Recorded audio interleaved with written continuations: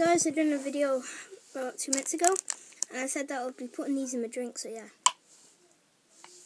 And then, like, in 10 minutes, I'm going to do another video, and then I'm going to taste it to see how nice it is.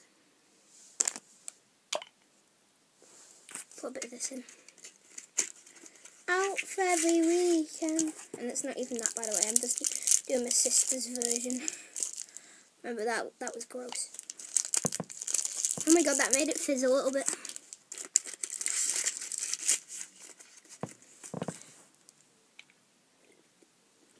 Not changed yet. I'm going to do another video in about two minutes and then yeah, you'll see it.